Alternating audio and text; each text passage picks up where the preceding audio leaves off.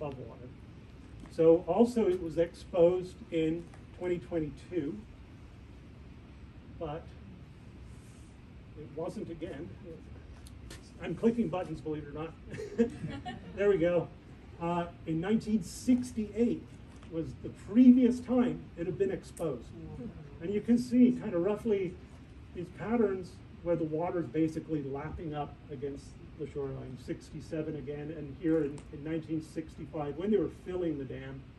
So that site from this point to this point was submerged for 54 years. So we just happened to stop at the right place at the right time, and Donnie put the toilet in the perfect location. and anyway, uh, awesome. So uh, you probably noticed that circular depression on the top. The first process, we cleaned all the debris away in front and picked up all the pieces that contained bone and recorded them and packed them and jacketed them. Um, and then we started beating on this, uh, that upper ledge, which we thought had nothing in it. Um, big thick sandstone. I took a round of bashing on it with an eight pound sledge. Then Adam took a turn. And then I took a turn. And all of a sudden this piece just popped off, landed upside down, and there was an articulated skeleton laying there. This is the back of the skull. This is the big opening in the back of the head. This is a zygomatic arch. Here you can see the eye sockets, the front of the skull right here. Here's the skull inside view. Here's the backbone coming down here with the ribs on each side, and this is a forelimb. This is the counterpart. The rest of it's still buried in the rock. So the next uh, next step, the next step. There. Okay. Oh, right. Here, here we go. So there's that ledge a little closer.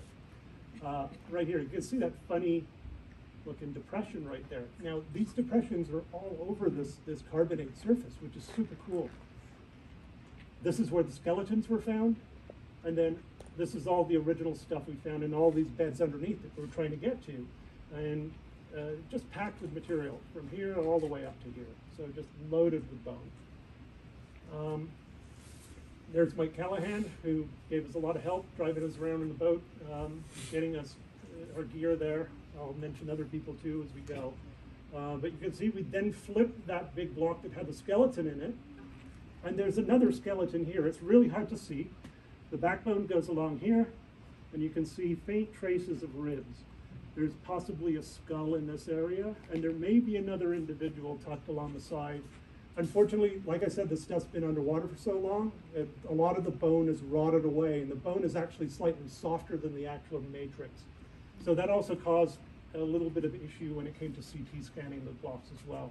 This is the little tail uh, section right here, articulated tail section. It's right in front of Hunter over here. Um, so, yeah, we found lots of cool stuff. Anyway, we pulled this back, lifted this off. There you can see that tritylodontid jacket. We then took the rock saw to it and trimmed the block down for good reason. We don't want to carry all that stuff out. Uh, and then we also did some little peels of a lot of the really cool bones that were underneath it. So we found another three or four jaws on this surface after we peeled this, this big block away. Um, all right, so the crew, he's not looking at you, but you'll see his face soon.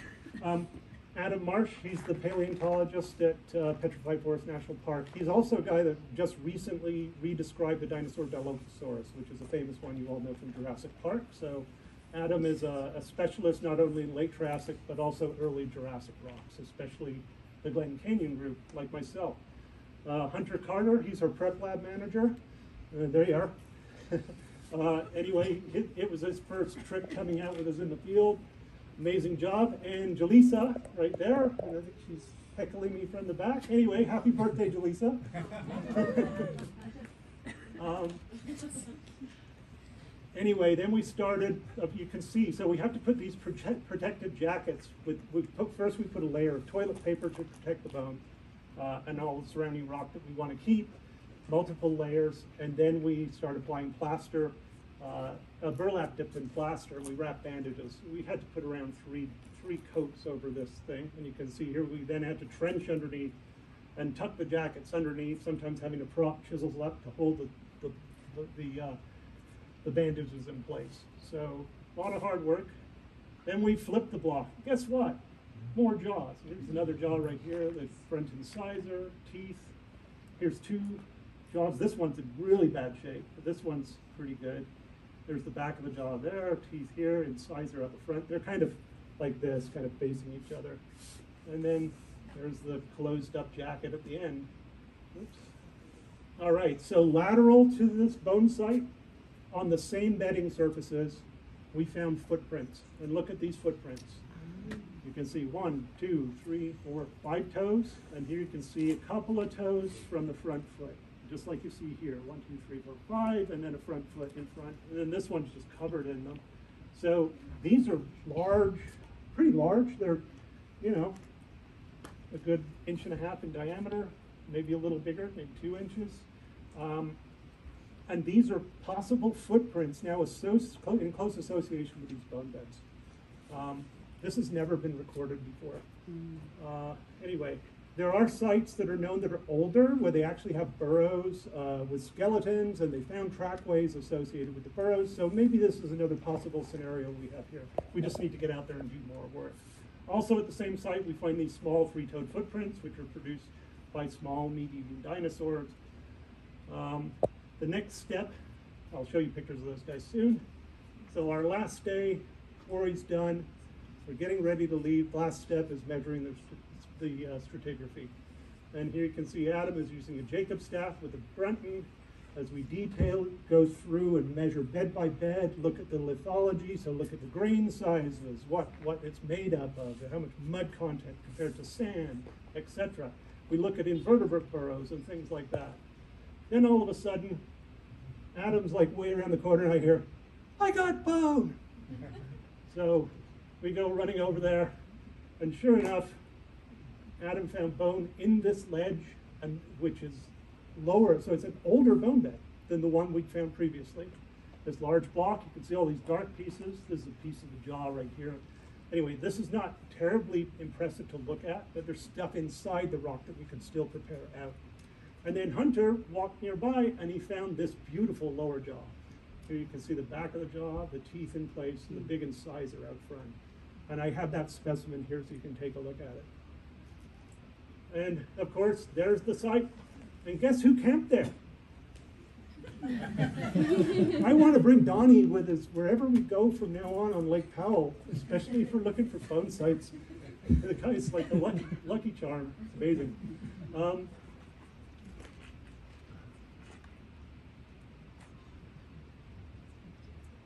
all right, there's our strat section. And if we gave it a name. We, we now call it Tritylodon Cove. Kind of a cool name. So what we see, we can see typical Kayenta facies. Occasionally we get dunes mixed in, but Adam and Hunter's site is actually in river channel deposits uh, that are more Kayenta facies-like. The site that I found is in more dune-like deposits. So you can see these are these are carbonates right here, and you've got dunes above and below. This is more of a lake, a pond type deposit right here. So this is the Navajo site that I found. Even though it's lower in elevation, it's definitely higher in the section because of the way all the cliffs are, are dipping. So our section was about 18 meters thick, so not particularly thick. But uh, what was amazing as we were driving, aw uh, driving away in the boat from the, from the area, Adam and I, we were all freaking out. We just, we could not believe how similar for miles and miles these facies were. Now, Martin Lockley's covered tons of that area, and he's found tracks everywhere, but he's never had an eye for bone. And I have a feeling there's going to be more bone sites. I, I'm, we're almost certain of it. So we're super excited to get back. All right, so the upper bone site, again, the data, uh, May 20, I could look at these a little bit closer. Maybe I need to try that for the other one, but I actually got it to the day uh, when it was uh, 3,350 feet.